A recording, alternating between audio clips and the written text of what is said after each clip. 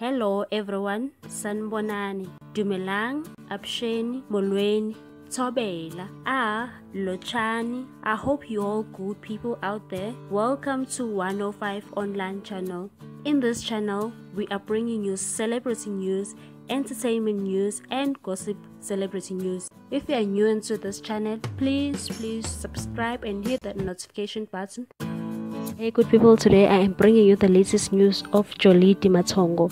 The newly appointed mayor Jolidee Matongo was killed last night in a head-on collision as he was returning from the registration campaign in Soweto, where he accompanied President Cyril Ramaphosa and Gauteng Premier David Makhura.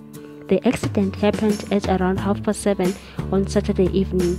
Matongo's body was still trapped in his BMW X5 at 11 p.m even though there were a number of emergency personnel and police at the scene.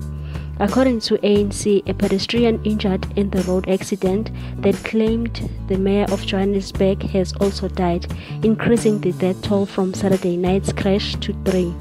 Jolidee and the driver of the buggy his car collided with died on Saturday. Authorities say a pedestrian ran into the road when Matongo's vehicle tried to avoid him. It collided with the buggy. The mayor's two bodyguards were also injured. The mayoral spokesperson Phindile Chauke said they were in a stable condition in hospital. Gauteng Premier David Makhura visited the two bodyguards in hospital on Sunday. The Johannesburg Metropolis Department spokesperson Xolani Fihla said a case of culpable homicide and reckless and negligent driving was opened at the Lenasia South Police Station. An investigation into the accident was continuing. Makhura said the mayor's death left him shattered.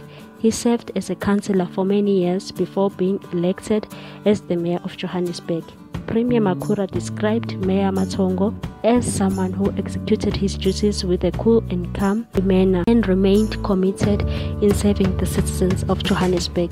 He conveyed his condolences to Mrs. Matongo and children, his extended family, and comrades.